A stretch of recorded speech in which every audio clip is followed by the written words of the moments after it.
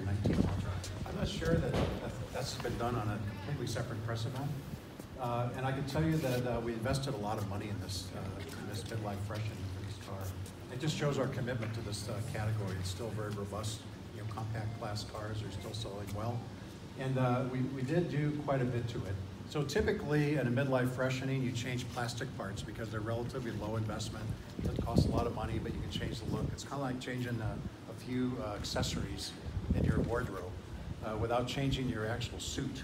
But in this case, we actually invested a lot more. We invested in a completely new front sheet metal, all new front lights, grill, all the bumper. Uh, we also invested in a new deck lid, completely fresh, completely changed rear view. Just to give you an example of what kind of investment that is, a a hood stamping might cost 14 or 15 million dollars just for the tool. That's not for all the work to develop it. A fender might be 18 million dollars per fender just to invest in the tool. So that's why manufacturers are generally very, very reluctant to put a lot of money in a midlife freshening. They'd rather just change the accessories like the headlamp or the tail lamp or maybe a grill. That's about all you get. In this case, we uh, changed the entire front clip, new fenders, new hood. Uh, we changed the deck lid, we changed the entire rear look as well. Uh, we changed the design of all the wheels, the 16 inch, the 17 inch, and 18 inch wheels have all been completely changed. But even more importantly, we've uh, committed to safety. You'll hear, uh, half of you heard about it this morning uh, with our uh, Safety Sense technology. So it's our package, our suite of safety features. We're adding a similar suite of safety features to- this car uh, because it's such a price-conscious uh, category.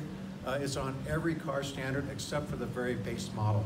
So for those people that just seek price above all else, it will not be standard on that base model, but every other model, it'll be standard. Though that'll include uh, forward collision avoidance assist, uh, lane keep assist, uh, driver attention.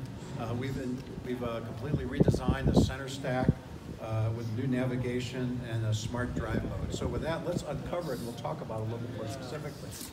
And Miles is our model today. I don't like his legs.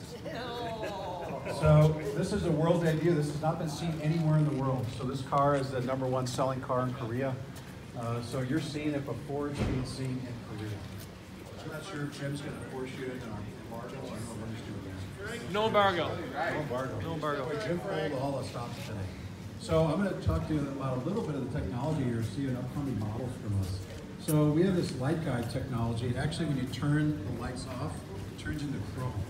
So it's basically a one-way glass technology that gives it a very modern look uh, during the day, but also gives it a very advanced look in the nighttime. So this light guide technology you'll see on some upcoming new models in the next few months.